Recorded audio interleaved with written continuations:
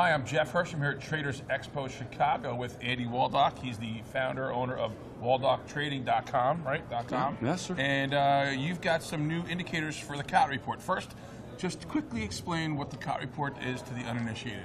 The Commitment of Traders report comes out weekly. It's produced by the Commodity Futures Trading Commission, and it gives the largest traders breakdowns of their positions within a given market. So we know how anxious the commercial or, or the uh, producers or processors are to buy a, buy a Known as the commercials. Known as the commercials, relative to the large speculators who are the CTAs and the large trend-following companies. And then you got this, the small, Small specs, but they're too, while they can provide good signals, their moves are too erratic to be consistent. Okay, thank you. So, what are these new indicators that you've been putting out at uh, your site and for The people? biggest difference with, the, with our adaptation of the Commitment of Traders report is that every market has different idiosyncrasies that nobody knows unless you've been studying them for 20 years.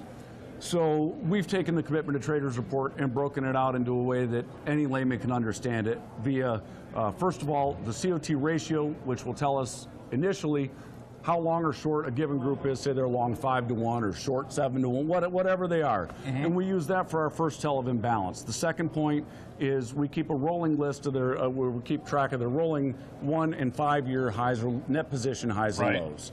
So we want to know if they're buying or selling has reached a new high or new low. And finally, the biggest thing is we move to the standard deviation of the distribution of last week's move relative to their average Relative move. to the average. So we know that if the if the commercial traders were really active this last week, they must be seeing something in the current prices that, that have made them jump in. So, what are these indicators? There's a couple things that you're seeing right now that they're showing you. We've got gold is tremendously overbought. Right. And commercial traders, specifically the commercial gold miners, are selling all the forward production they can at the current prices. And that's reflected in the COT report by a new net position 52 week low. Okay. By a new, it's, it's a large hedgers. short position by the hedgers, correct.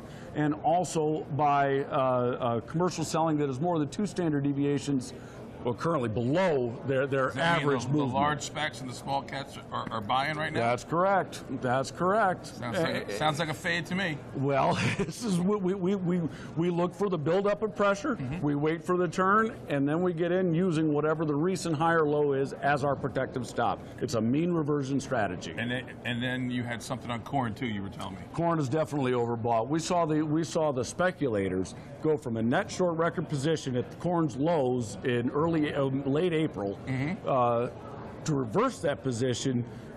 Bought in almost half a million contracts in their net position over the following five six weeks, putting us where we are now at a, at a tremendously overbought position. Commercial traders feel that they could get corn delivered whether they have to buy, beg, borrow, or steal it at the current December prices. All right. Well, thank you, Andy, and thanks everyone for joining us. Thank you, John. My pleasure.